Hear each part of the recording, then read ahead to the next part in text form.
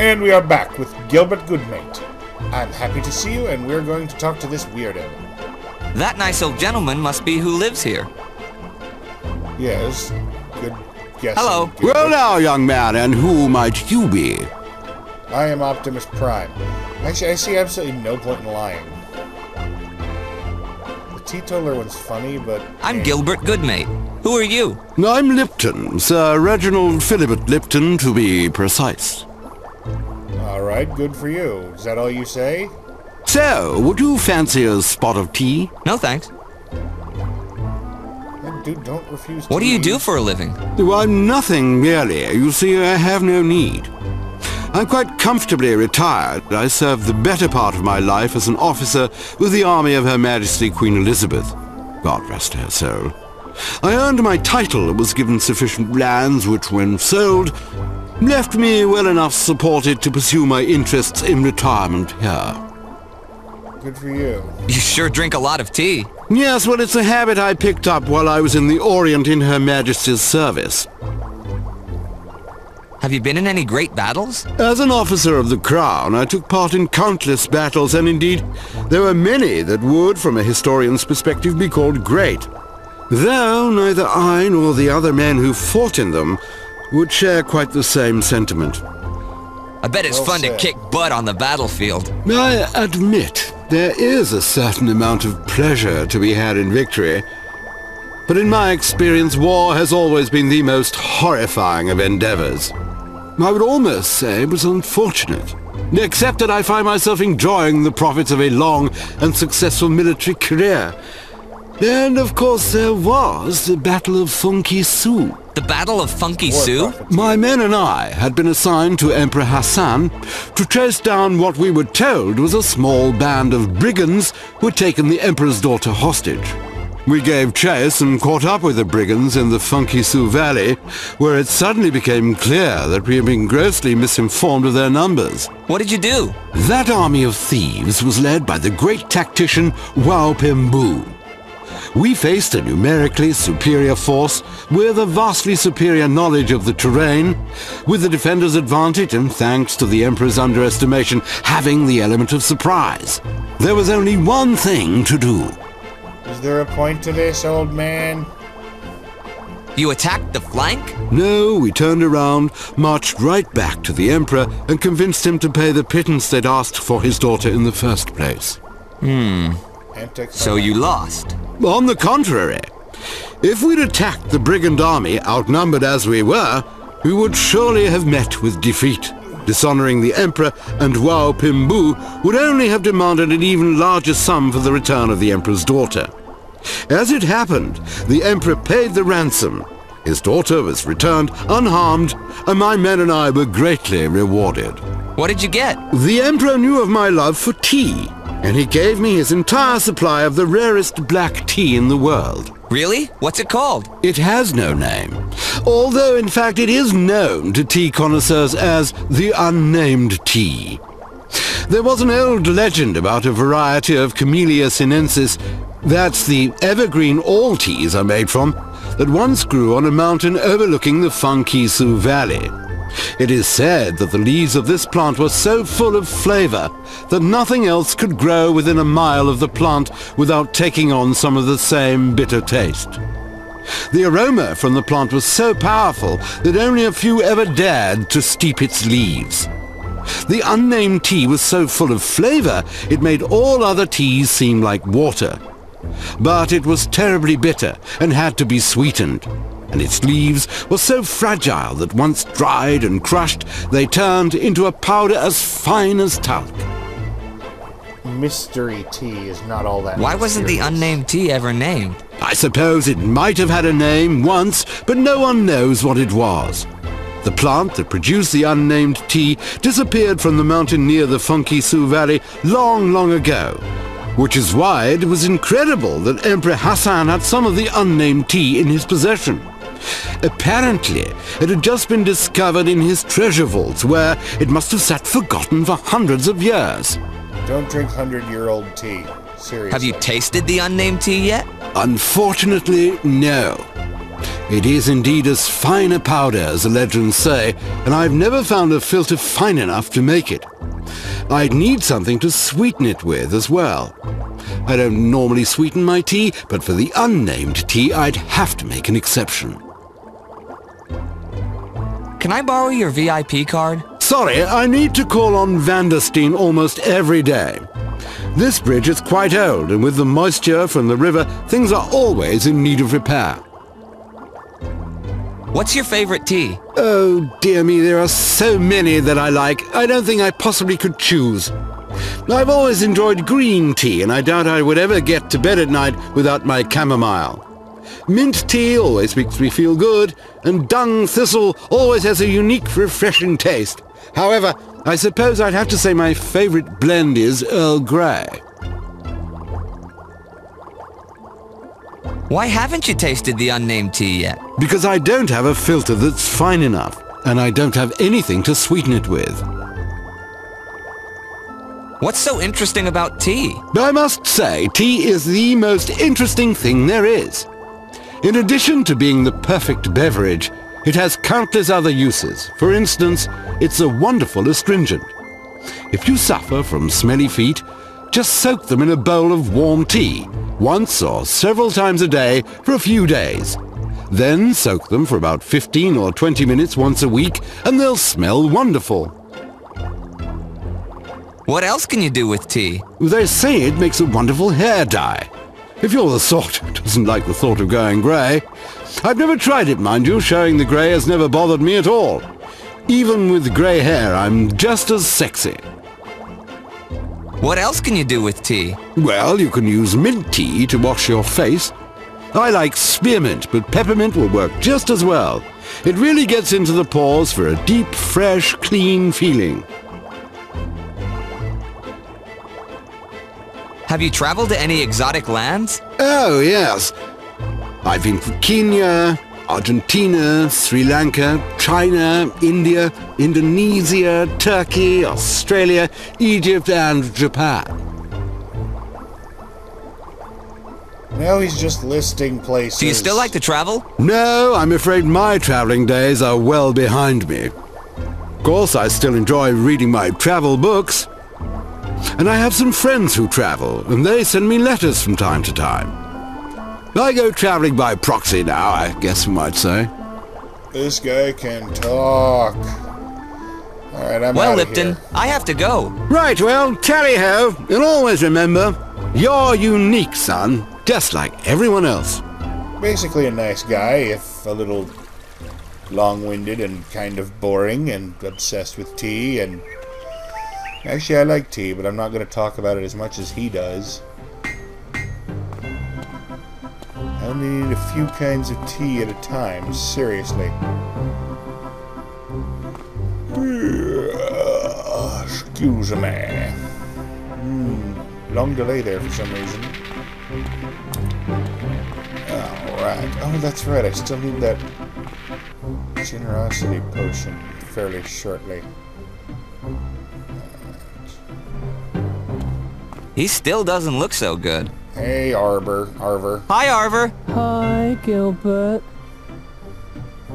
What's that you're wearing? It's a filter the doctor gave me to help keep away the germs. It's very fine.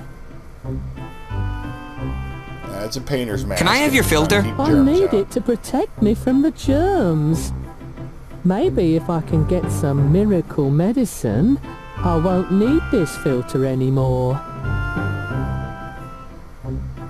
So wait, would bullcrap medicine cure Bye, somebody Arver. with so bullcrap long, symptoms? Gilbert. I don't know. It's locked.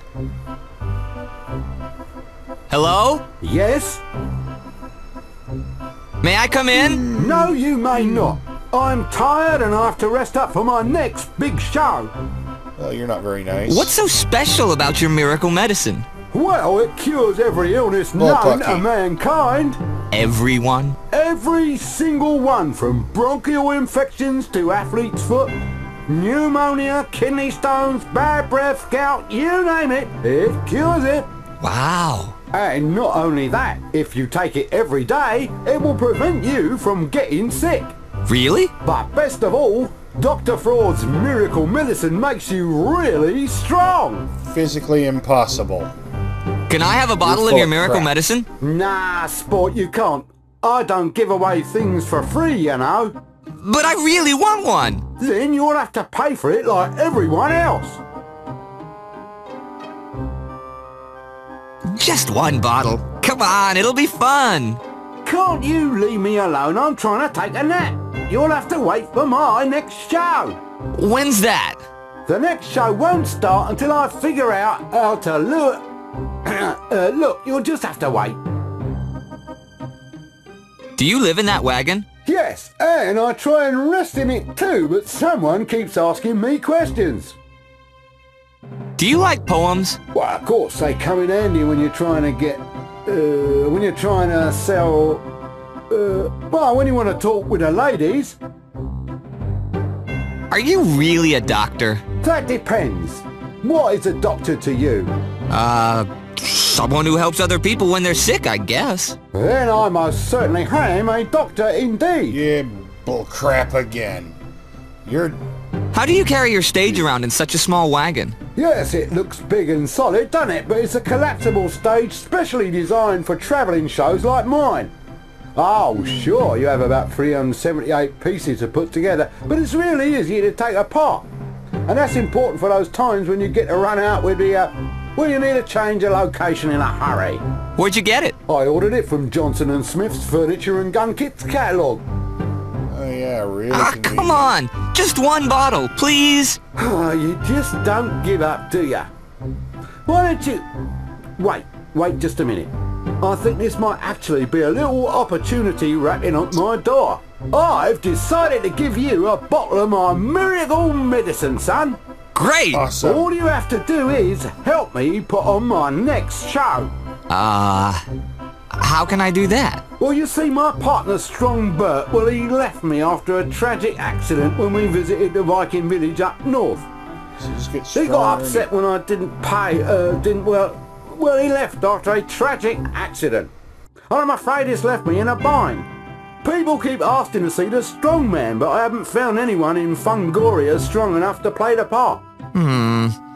Why do you need someone strong? Because nothing says buy me like a hands-on, up-close, real-life demonstration.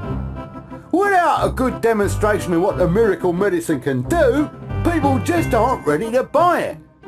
So all I have to do is drink your medicine, and I'll be strong like Strong Bert was. Uh, no, well, eventually, yes. I mean, it took years for the medicine to uh, make Strong Bert that strong. But what we need is a demonstration of how strong you could get after taking the medicine for a long time. Sort of a creative demonstration, if you know what I mean. But wouldn't that be lying? Look, kid, you want the miracle medicine or not? Uh, I guess so. Then find me someone strong enough to do the job. He's a fraud, Gilbert. What's your miracle medicine made of? I'm afraid I can't divulge the secret list of ingredients. Why not? Because no one would drink it if they know what it was made of.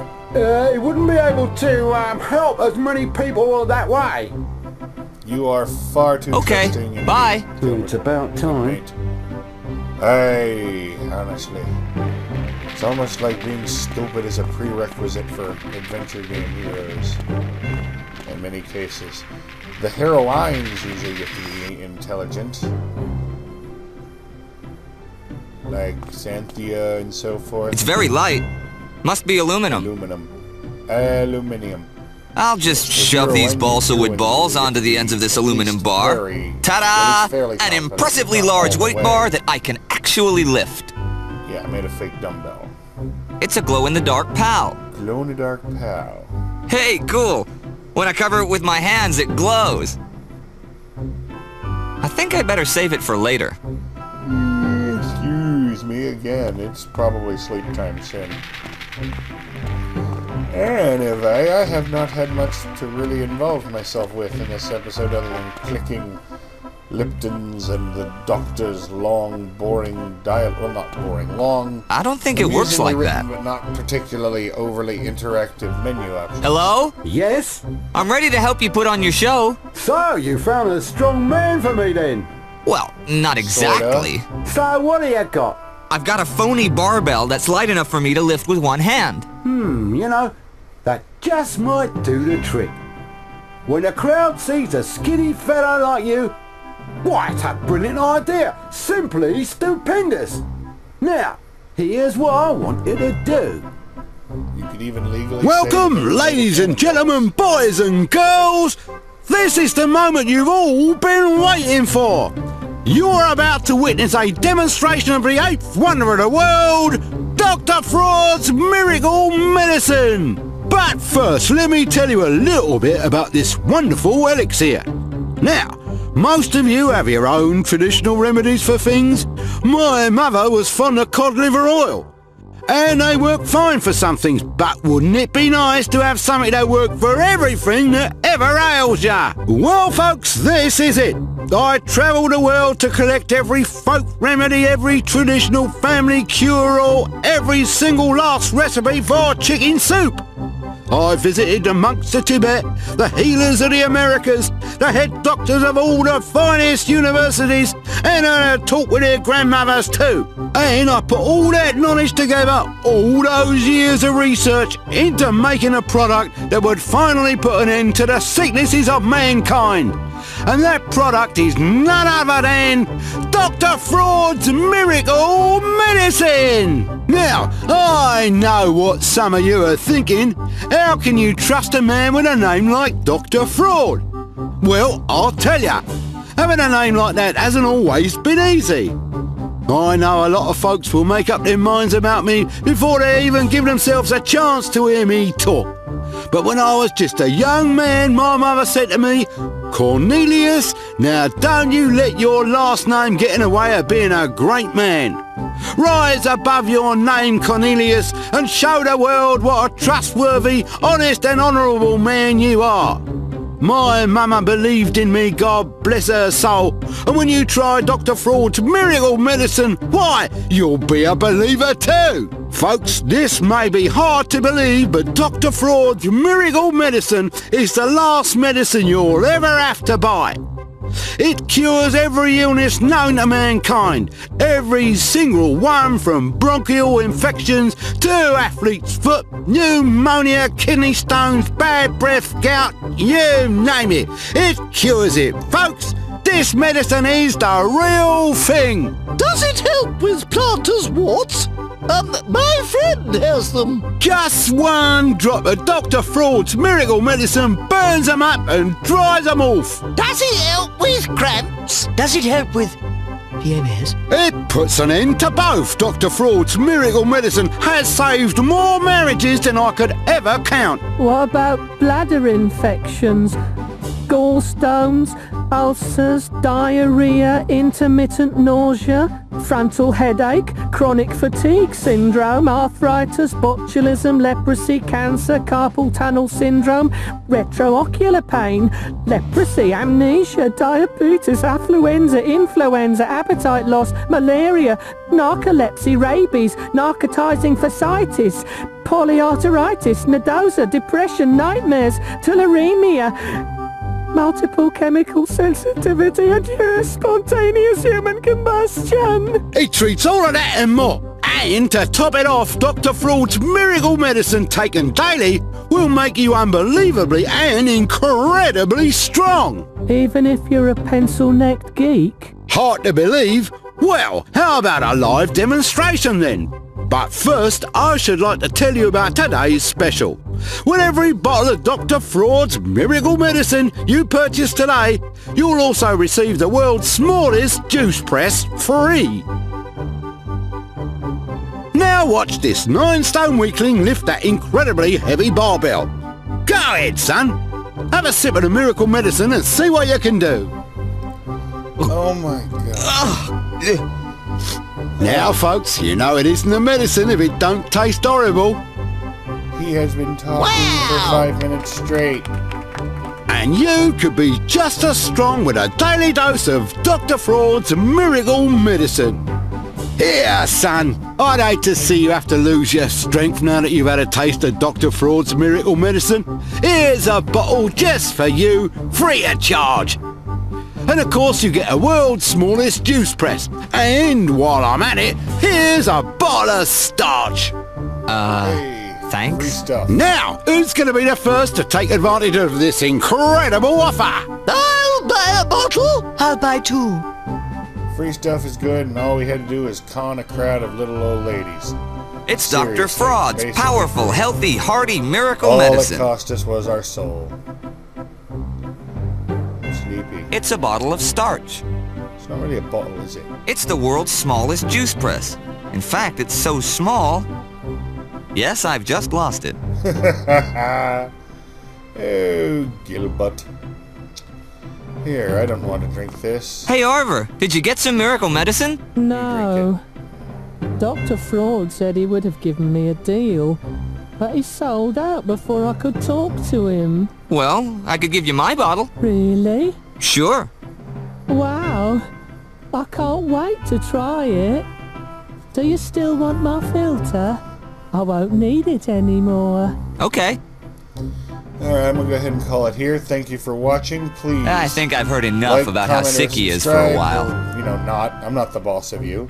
Good night, everybody. I'm tired.